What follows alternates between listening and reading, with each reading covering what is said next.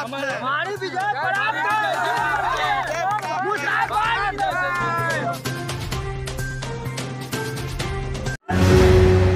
नमस्कार मैं हूँ मुकेश झा। आप देख रहे हैं ट्रू फैक्ट न्यूज़ बिहार के सीतामढ़ी जिला के नगर निगम से वार्ड पार्षद पद के प्रत्याशी मोहम्मद मुमताज़ ने अपना नामांकन पर्चा दाखिल किया। नगर निगम वार्ड नंबर 19 से दिनांक 23 नौ 2022 को जैसे ही नामांकन पर्चा दाखिल करने के बाद बाहर निकले लोगों का जन सैलाब उमड़ पड़ा।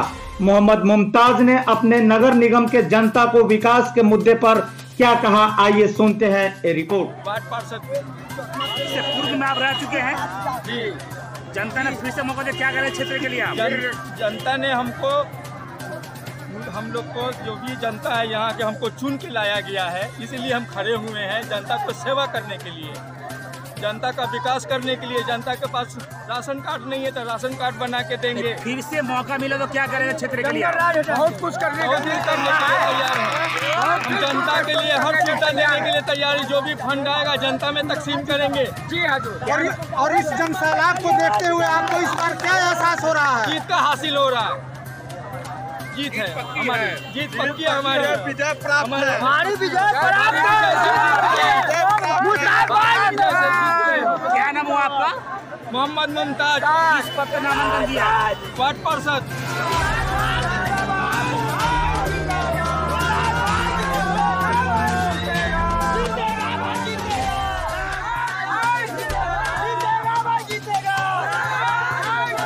हज़ारों हज़ार की संख्या में लोगों ने जयकारा और नारा लगाकर अपने प्रत्याशी मोहम्मद मुमताज़ को हौसला अफजाई करते समर्थक दिखे। वहीं पूर्व वार्ड पार्षद मोहम्मद मुश्ताक ने वार्ड पार्षद प्रतिनिधि बतौर जनता को जनादेश देते हुए क्या कहा? विकास के मुद्दे पर एक नज़र आइए, सुनते हैं। मैं पार्षद था जनता के बीच कहता हूँ, जो अभी वर्तमान में जो है इंदिरा आवास के नाम पे आपका नाम क्या हुआ? मेरा नाम मोहम्मद मुश्ताक। किस क्षेत्र से खड़े हैं आप? ये क्षेत्र मेरा अभी उन्नीस वार्ड है नया। अभी आपके छोटे भाई ने नामांकन किस पद के लिए दिया है?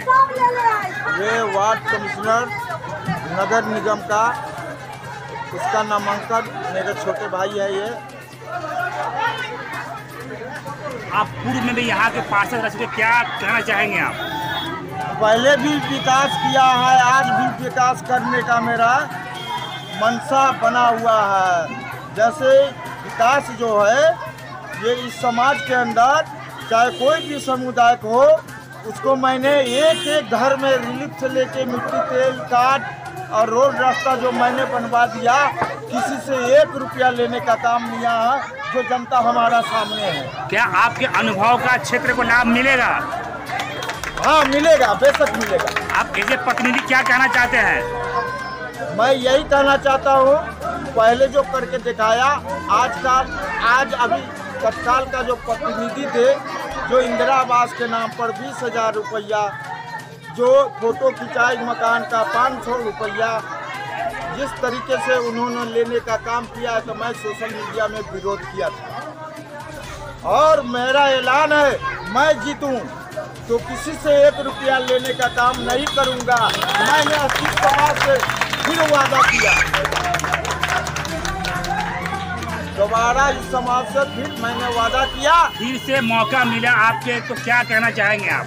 बस जो सरकार देगी जो मुस्लिम देगी मैं उस उसको गंगा के दरिया गंगा के जैसा बहा दूँगा विकास को। और एक रुपया खाने का काम नहीं करूँगा।